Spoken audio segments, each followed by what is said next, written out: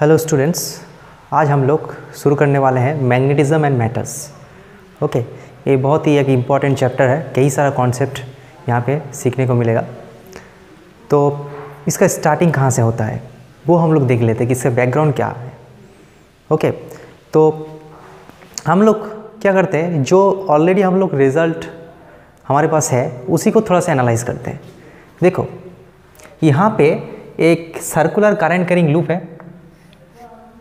Okay circular current carrying loop है। तो circular current carrying loop के लिए अगर ऐसा लूप है तो उसके एक्सिस में, किसी पॉइंट में कितना मैग्नेटिक फ़ील्ड बनता है, वो हम लोगों को मालूम है। वो हम लोग यहाँ पर लिख लिए। क्या लिख लिए? Mu zero I A square divide by two into A square plus X square whole to the power three by two X मतलब क्या है? एक्स एक्स मतलब इस पॉइंट का डिस्टेंस कहाँ से? सेंटर से। अलोंग द एक्सिस ए मतलब radius of the coil and capital N is the number of turns okay यहाँ पे कैपिटल एन भी मल्टीप्लाई हम कर सकते हैं।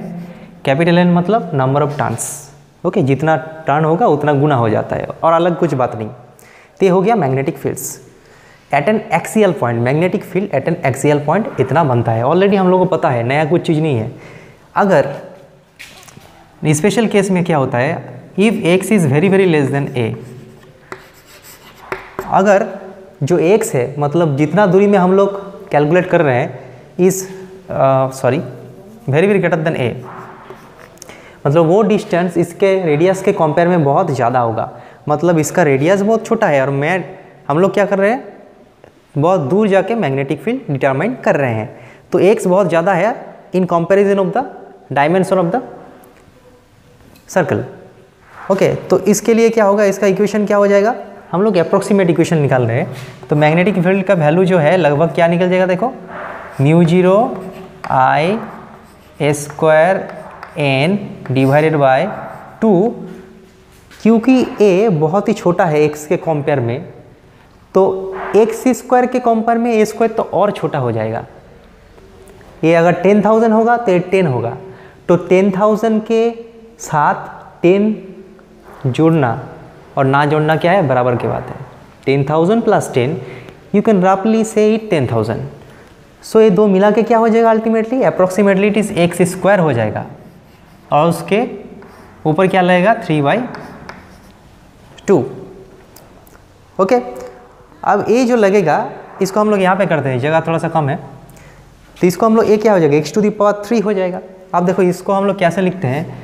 Mu zero by four pi यहाँ पे पाई नहीं था, पाई इंट्रोड्यूस किया तो ऊपर एक पाई देना पड़ेगा टू पाई। और ए स्क्वायर पहले से ही है। मल्टीप्लाइड बाय आई एन है। ठीक है? And divided by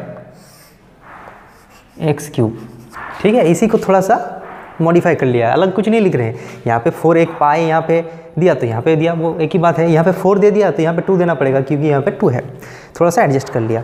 ते बन गया हम लोग का कांस्टेंट कांस्टेंट क्या होता है? Mu zero by four pi ते हो गया इसका रिलेशंस अब देखो, ये जो पाए स्क्वायर है, ये क्या है? एरिया है कि नहीं है? किसका एरिया है? सर्कुलर लूप का एरिया क्या है? पाए स्क्वायर तो इसको हम लोग क्या लिख सकते हैं? Mu zero by four pi थोड़ा सा ठीक करके लिखते हैं।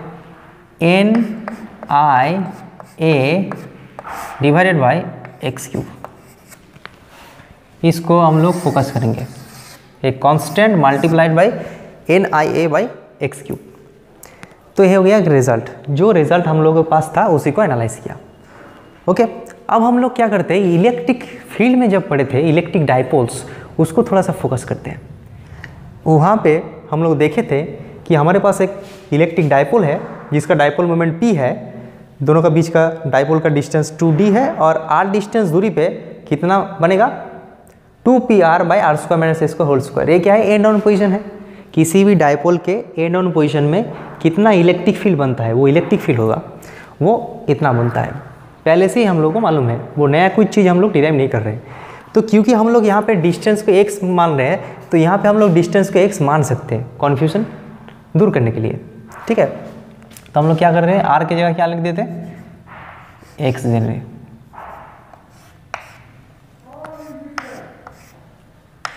कोई बात नहीं। आप देखो, अच्छे से देखो। यहाँ पे स्पेशल केस अगर होगा कि X is very very greater than इसको भी हम लोग क्या करते हैं? चेंज कर देते हैं। क्या कर देते हैं? ए कर देते हैं। ठीक है? If X is very very greater than A अगर जो एक्स है मतलब जि, जिस जितना डिस्टेंस में हम लोग इलेक्ट्रिक फ़ील्ड कैलकुलेट कर रहे हैं वो अगर इसका आधा डिस्टेंस है या फिर ए के कंपेयर में बहुत ज़्यादा होगा तो उसके लिए क्या होगा? रिलेशन में कुछ बदलाव आएगा। देखो यहाँ पर नोटेशन जो है वो अलग अलग हो सकता है। एक्स की जगह तुम जेड बैठाओ को, कोई बात नहीं कॉन्सेप्ट सही होना चाहिए। तो यहाँ पे हम लोग सिमिलैरिटी लाने के लिए एक किया कि इसका डिस्टेंस टू ए है और एक डिस्टेंस में हम लोग कैलकुलेट कर रहे हैं तो ए होता है एक्स इसका मैंने स्क्वायर होल स्क्वायर अगर ये हम लोग करेंगे ए अप्रोक्सीमेशन तो इलेक्ट्रिक फ़ील्ड का वैल्यू क्या आ जाएगा? Approximate one by four by seven zero एक कॉन्स्टेंट है, और यहाँ पे क्या हो जाएगा देखो? Two P X by X cube X to the four ऐसा कुछ आएगा? तो एक्स और तो कट जाएगा तो अल्टीमेटली क्या हो जाएगा? डायरेक्ट लिख देते हैं इसको। Two P by X cube हो जाएगा। ठीक है, अच्छे से देखना। यहाँ पर डायपोल मोमेंट का डायरेक्शन किधर है? डायपोल मोमेंट का डायरेक्शन इधर है। माइनस से लेके प्लस तक डायरेक्ट डायरेक्शन होता है। डायपोल मोमेंट का। डायपोल मोमेंट जो है, उसका भी तो डायरेक्शन है। माइनस से लेके प्लस और उसके लिए कितना इलेक्ट्रिक फ़ील्ड बनता है? Approximate electric field constant two P by X cube समझ में आ गया? अब यहाँ पे देखते हैं। यहाँ पर एक टू है। टू है टू तो यहाँ पे हम लोग देख सकते हैं जो electric dipoles electric field create करता है तो उसका जो एक्सप्रेशन है, ये एक्सप्रेशन उसके साथ एक करंट कैरिंग लूप का एक्जियल पॉइंट में जो एक्सप्रेशन है, दोनों का सिमिलरिटी है। हम लोग देख सकते हैं कि ये जो रिलेशन है, इसके साथ इसका एक सिमिलरिटी है। कैसा सिमिलरिटी यहाँ पे क्या है? कांस्टेंट यहाँ पे भी एक कांस्टेंट हाँ वो अलग कांस्टेंट है, लेकिन कांस्टेंट है। यहाँ पे है नीचे एक्स क्यूब यहाँ पे भी एक्स क्यूब डिस्टेंस क्यूब यहाँ पे भी डिस्टेंस क्यूब यहाँ पे टू है, यहाँ पे भी टू है। हाँ यहाँ पे क्या है? यहाँ पे पी है, यहाँ इस पी की जगह यहाँ पे एन आई ए है। तो एक सिमिलरिटी है। Constant two P by X cube यहाँ पे क्या है? Constant to something by X cube मतलब there is a nice similarities between this two okay electric dipoles उसके लिए जितना फ़ील्ड बन रहा है, और एक करंट करिंग लूप उसके लिए जितना मैग्नेटिक फ़ील्ड बन रहा है, दोनों के एक सिमिलरिटी है। तो हम लोग बोल सकते हैं, क्योंकि इसका नाम इलेक्ट्रिक डाइपोल्स है तो यहाँ पे इसका नाम क्या होगा? इलेक्ट मैग्नेटिक डाइपोल्स मतलब क्या है? इस सिमिलरिटी की वजह से हम लोग बोल सकते हैं कि क्या हो सकता है? ये जो लूप है करंट करिंग लूप वो मैग्नेटिक डाइपोल के हिसाब काम कर रहा है। ऐसे मैग्नेटिक डाइपोल मैग्नेटिक डाइपोल क्या होता है? मैग्नेट होता है बार मैग्नेट उसको हम लोग पढ़ेंगे। तो मैग्नेट जो काम करता है, वही काम कौन करता है? करंट करिंग लूप करता है। हम लोग ऑलरेडी देख चुके हैं कि करंट से मैग्नेटिक फ़ील्ड प्रोड्यूस करता है प्रोड्यूस होता है। तो मैग्नेट का जित, जैसा जो जो काम है मैग्नेट जो है, वो क्या है? डाइपोल है। उसी का काम ये कर रहा है। मतलब दोनों के बीच में एक सिमिलरिटी है। तो इसको हम लोग इलेक्ट्रिक डायपोल का ट्रीटमेंट बोल रहे हैं और इसको करंट करिंग लूप का ट्रीटमेंट बोल रहे हैं। तो करंट करिंग लूप को हम लोग क्या बोल सकते हैं? क्योंकि सिमिलरिटी है तो हम लोग इसको क्या बोल सकते हैं?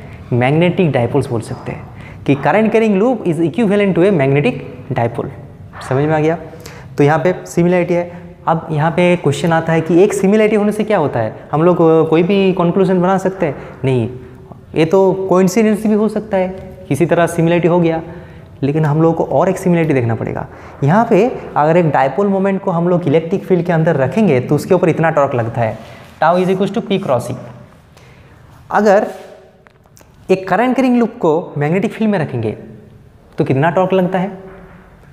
इतना टॉर्क समथिंग क्रॉस बी तो यहाँ पे जो टर्म है, यहाँ पे वही टर्म है। मतलब यहाँ पे क्या हो रहा है? यहाँ पे भी एक सिमिलरिटी है। एक ही तरह के एक्सप्रेशन आ रहा है। मतलब ये कोई कोइंसिडेंस नहीं है। रियली इसमें एक सिमिलरिटी है। तो उसको हम लोग इलेक्ट्रिक डायपोल मोमेंट बोल रहे हैं। तो करंट करिंग लूप को हम लोग क्या नाम देंगे?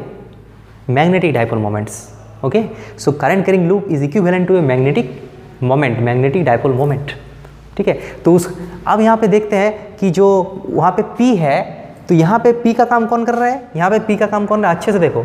P का काम वहाँ पे जो कर रहा है, यहाँ पे एन आई ए कर रहा है। समझ में आ गया? N I a a p का काम कर रहा है। वहाँ पे P क्रॉस ई था, यहाँ पे मैग्नेटिक मोमेंट वहाँ पे dipole moment cross electric field था। तो यहाँ पे क्या होना चाहिए? Magnetic moment cross magnetic field similarity की वजह से। तो यहाँ पे मैग्नेटिक मोमेंट का काम कौन कर रहा है? एन आई ए सो यहाँ पे हम लोग लिख सकते हैं। क्या लिख सकते हैं? कि current carrying loop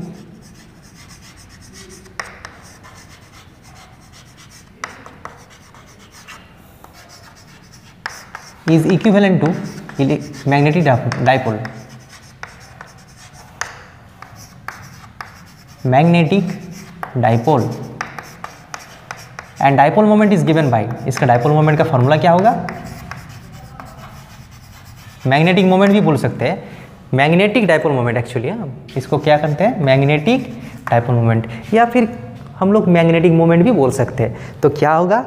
वहाँ पे जो पी का काम कर रहा है, यहाँ पे उसका काम कौन कर रहा है? एन आई ए मतलब यहाँ पे जो मैग्नेटिक मोमेंट होगा P is equals to N I A vector यहाँ पे पी वेक्टर होगा मतलब डाइपोल मोमेंट लेकिन ये तो इलेक्ट्रिक डायपोल मोमेंट, ये क्या है? Magnetic dipole moment. तो इसीलिए यहाँ पे एक सफिक्स देंगे। क्या सफिक्स? इस पी एम दोनों का ही सिंबल पी है, लेकिन यहाँ पे सफिक्स एम देंगे to distinguish it from the electric dipoles तो पता चलेगा कि मैग्नेटिक डायपोल मोमेंट के बारे में बात कर रहे हैं। तो कोई भी करंट कैरिंग लूप वो क्या होता है? As a magnetic dipole moment काम करता है। और उसका मैग्नेटिक डाइपोल मोमेंट क्या होता है? Current multiplied by area obviously there is a N number of turns current multiplied by area okay vector form में हम लोग लिख रहे हैं समझ में आ गया? ते हो गया इसका डाइपोल मोमेंट का फॉर्मूला ठीक है? अब अगर वहाँ पे चार्ज है माइनस क्यू प्लस क्यू तो यहाँ पे भी मैग्नेटिक चार्ज होना चाहिए। वहाँ पे क्या था? यहाँ पे देखो डाइपोल मोमेंट किधर है? यहाँ पे माइनस और प्लस सो वहाँ पे देखो डाइपोल मोमेंट इधर है तो यहाँ पे भी डाइपोल मोमेंट किधर है? इधर है। है कि नहीं है? डाइपोल मोमेंट इधर है। ऐसे। कैसे निकलते? सर्कुलर कंडक्टर के लिए क्या होता है? सब फिंगर्स करेंट के डायरेक्शन डिसाइड करते हैं थम मैग्नेटिक फ़ील्ड तो इसका मैग्नेटिक फ़ील्ड इधर होता है। मतलब डाइपोल मोमेंट इधर होता है। मैग्नेटिक फ़ील्ड भी इधर होगा। तो ये जो डाइपोल मोमेंट है, ठीक है?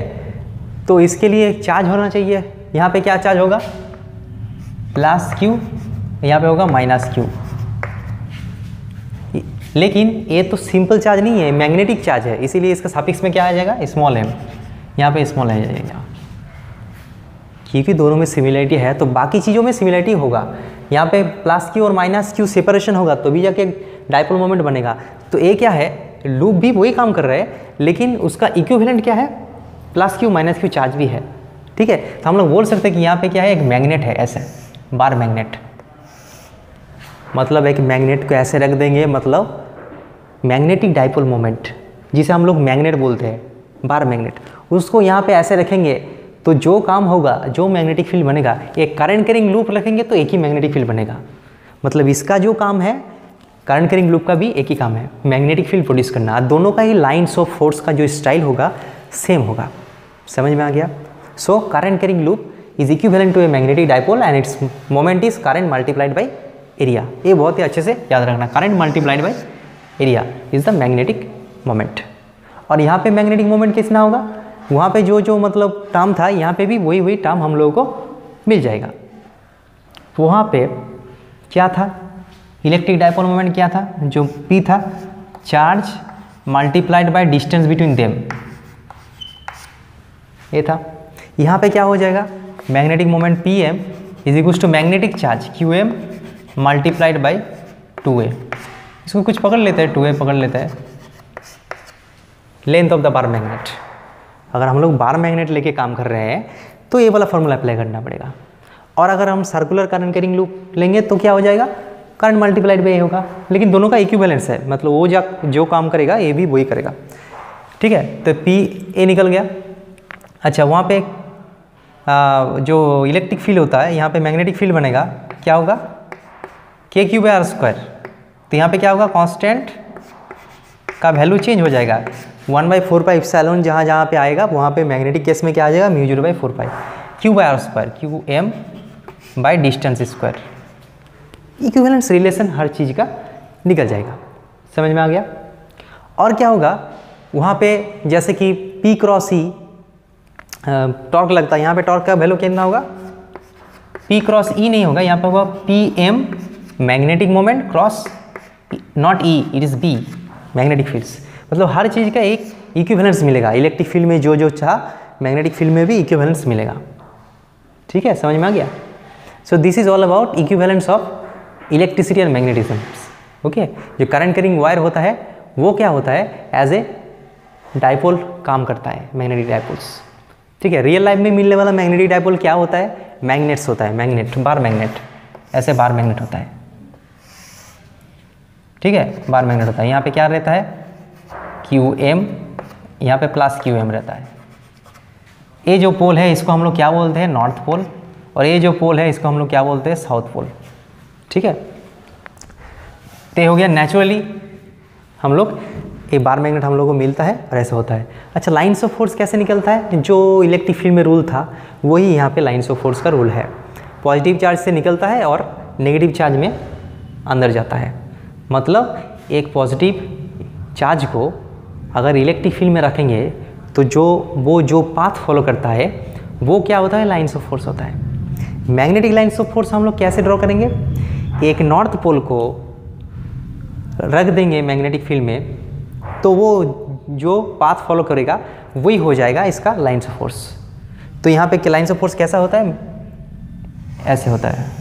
पॉजिटिव से निकलता है, इसे अंदर। ऐसा क्यों हुआ? उसको देखना पड़ेगा। नेट रिजल्टेंट देखना पड़ेगा।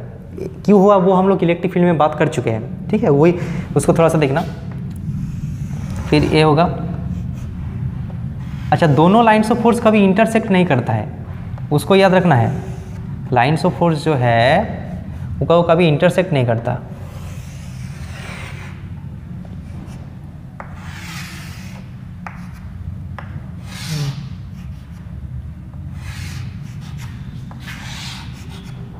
ऐसे लाइन्स ऑफ़ फोर्स बनेगा अप्रोक्सीमेटली ठीक है? इसके अंदर जाता है। ये साउथ पोल है। ठीक है? तो ऐसे लाइन्स ऑफ़ फोर्स बनता है मैग्नेटिक के। सिमिलरली करंट करिंग लूप में भी ऐसे ही लाइन्स ऑफ़ फोर्स बनेगा। जो करंट करिंग लूप है, उसका अगर हम लोग लाइन्स ऑफ़ फोर्स बनाएँगे तो वो क्या होगा? क्योंकि ये दो इक्विवेलेंस है, एक मैग्नेट और करंट करिंग लूप दोनों इक्विवेलेंस है तो इसका भी लाइन्स ऑफ़ फोर्स कैसा होगा? इसका भी लाइन्स ऑफ़ फोर्स कैसा होगा? ऐसा होगा। एकदम सिमिलर काइंड का होगा। और बीच में तो स्टेट होता है, वो हम लोग को पता ही है।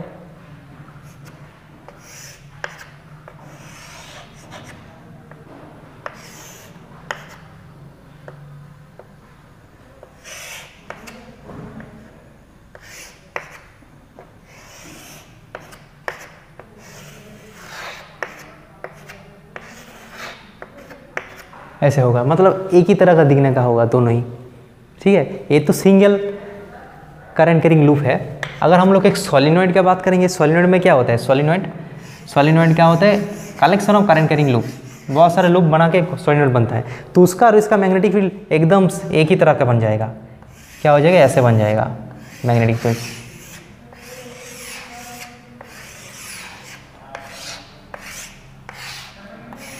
ठीक है? एकदम एक ही तरह का बन जाएगा।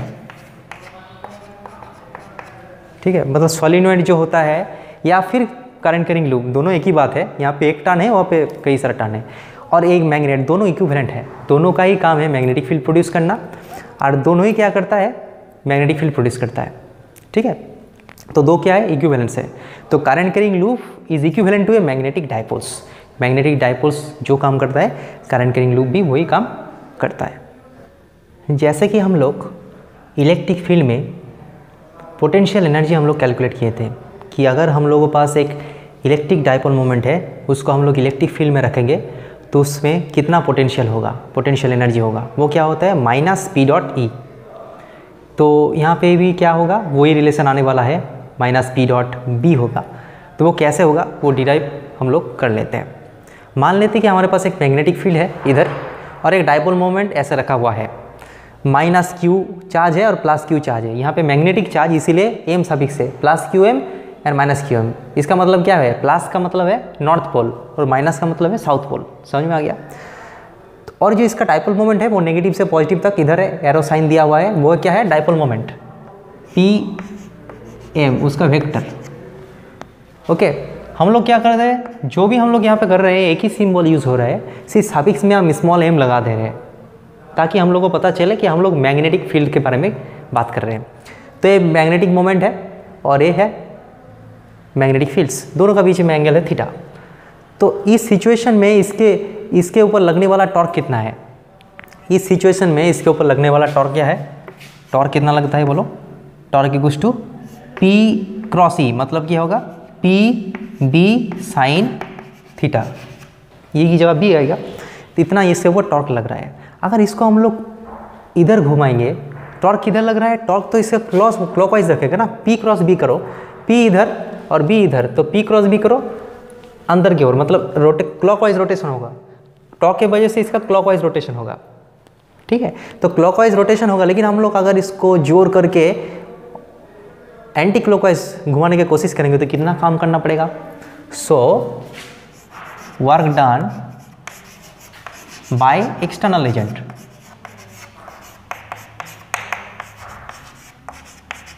to rotate it further by D theta angle इतना एंगल है 30 डिग्री है और उसको 30 से 31 बनाना है तो कितना काम करना पड़ेगा? तो डी डब्ल्यू मतलब छोटा सा वर्क डन इक्व टू क्या होगा? यहाँ पे एक बात समझने का चीज़ है। लीनियर मोशन में क्या होता है? फोर्स मल्टीप्लाइड बाई डिस्प्लेसमेंट यहाँ पे क्या होगा? Torque multiplied by angular displacement क्योंकि हम लोग एंगुलर केस कर रहे हैं। तो यहाँ पे क्या हो जाएगा? टाओ डी थीटा ठीक है? और टाओ और डी थीटा क्या है? एक ही डायरेक्शन में है, इसीलिए माइनस साइन नहीं आया। टाओ किधर लग रहा है? जो हम लोग टाव बाहर से लगा रहे हैं, वो इधर और डिस्प्लेसमेंट भी इधर होगा रहे बाहर वाला ये क्या है? टाव एक्सटर्नल तो टाव एक्सटर्नल का वैल्यू कितना होना चाहिए? इतना ही होना चाहिए। जितना टॉर्क मैग्नेटिक फ़ील्ड इसको लगा रहे हैं, हम लोग को अगर उसको घुमाना है तो मिनिमम इतना टॉर्क दे के उसको ऑपोजिट साइड में घुमाना होगा, तभी जाके होगा। तो टॉर्क एक्सटर्नल की जगह हम लोग, वही वाला टॉर्क हम लोग डाल सकते हैं। पी सॉरी पी बी होगा sine theta into D theta okay, अगर हम लोग इसको मान लेते कि 30 डिग्री से 60 डिग्री करेंगे तो कितना वर्क डन करना पड़ेगा? ठीक है तो हम लोग work done to make angle from theta one to theta two कितना वर्क डन होगा? इंटीग्रेशन करना पड़ेगा इसका। कहाँ से, कहाँ तक? थीटा वन से थीटा टू तक। साइन थीटा के इंटीग्रेशन करने से क्या होता है? कॉस थीटा होता है, माइनस कॉस थीटा। तो हम लोग लिख सकते हैं minus P M B cos theta. ये माइनस को हम लोग बाहर निकाल देते हैं। और यहाँ पे लगेगा थीटा टू, यहाँ पे लगेगा थीटा वन। ये कैलकुलेशन हम लोग ऑलरेडी कर चुके हैं इलेक्ट्रिक फ़ील्ड में। तो क्या होगा? माइनस पी एम बी एक बार theta two बैठाएँगे। Cos theta two minus cos theta one इस माइनस को थोड़ा सा एडजस्ट कर देंगे तो अल्टीमेटली क्या निकल जाएगा? P M multiplied by B cos theta one minus cos theta two ये क्या है? अच्छे से अगर लिखना होगा तो इसको क्या लिखेंगे? W external to move it from theta one to theta two theta one से थीटा टू ले जाने के लिए एक्सटर्नल फोर्स को इतना काम करना पड़ा। तो ये जो काम करना पड़ा, वो एक्सटर्नल जो एजेंट है, उसका एनर्जी तो क्या हो, घट गया। जो काम करता है, उसका एनर्जी घट जाता है। और जिसके ऊपर काम किया जाता है, उसका एनर्जी बढ़ जाता है। तो क्वाइट नेचुरल है। तो ये जो डायपोल है, उसके ऊपर एक एनर्जी आ जाएगा। क्या एनर्जी आ जाएगा? Potential energy so potential energy of the dipole so change in potential energy change in potential energy कितना होगा बोलो? U theta two minus U theta one U मतलब पोटेंशियल एनर्जी बैकेट में थीटा टू मतलब potential energy at the place of theta two यहाँ पे क्या होगा? P M B cos theta one minus cos theta two अब यहाँ पे एक बात हम हम लोग डिस्कस कर चुके हैं इलेक्ट्रिक फ़ील्ड में कि डायपोल कौन सा पोजीशन में पोटेंशियल एनर्जी ज़ीरो होता है? पाई बाई टू में होता है। क्यों होता है? वो भी हम लोग एक्सप्लेन कर चुके हैं। ठीक है? तो हम लोग क्या करते हैं? थीटा वन के जगह हम लोग पाई बाई टू बैठा देते हैं। और थीटा टू की जगह थीटा बैठा देते हैं। हम लोगों को पोटेंशियल एनर्जी का डिफरेंस नहीं कैलकुलेट करना है। हम लोग क्या करना है? पोटेंशियल एनर्जी कैलकुलेट करना है एट ए पर्टिकुलर प्लेस तो पोटेंशियल एनर्जी का ज़ीरो लेवल कहाँ पे है? वो पता होना चाहिए। तो वो पाई बाई टू में है। तो इसको बैठा देंगे तो क्या हो जाएगा? U at theta is equals to हो जाएगा minus P M B cos theta ये हो गया पोटेंशियल एनर्जी का फॉर्मूला इसे हम लोग डिफरेंट स्टाइल में भी लिख सकते हैं। क्या लिख सकते हैं? P M dot B so U is to minus P M dot B लिख सकते हैं, कोई बात नहीं। ठीक है? तो ये हो गया पोटेंशियल एनर्जी का फॉर्मूला वहाँ पे क्या था? माइनस पी डॉट बी यहाँ पे क्या हो गया? Minus P M dot B तो यहाँ पे न्यूमेरिकल आ सकता है। तो हम लोग क्या करेंगे? कि change in potential energy is equal to work done ये सबसे याद रखना है। हम लोग एक चीज़ हमेशा याद रखना है कि work done by the external equal to change in energy बाहर से कोई अगर काम करेगा तो उसकी एनर्जी हट जाएगा, वो सिस्टम के ऊपर चलाया जाएगा। ठीक है एनर्जी ख़त्म नहीं हो सकता है उसको क्रिएट भी नहीं किया जा सकता वो ट्रांसफ़र हो सकते हैं एक जगह से दूसरी जगह। अगर मैं इस चौक को ऐसे फेंक दूँगा तो मेरा एनर्जी घट जाएगा क्योंकि मैं काम कर रहा हूँ और इसकी एनर्जी बढ़ जाएगा। क्या एनर्जी उसमें आ जाएगा? काइनेटिक एनर्जी ठीक है तो ए, मतलब एक से एक बॉडी से दूसरे बॉडी तक एनर्जी ट्रांसफ़र हो जाता है कैसे? काम करने से।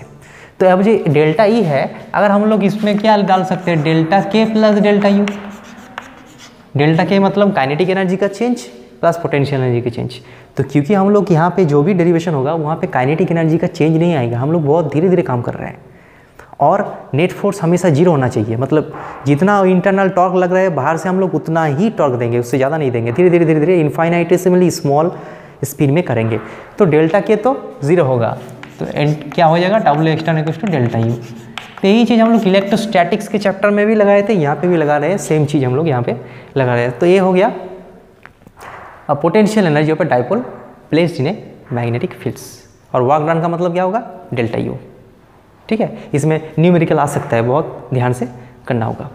Gauss's law in magnetism magnetism में गॉस लॉ का क्या फॉर्म होता है, वो हम लोग देख लेते हैं।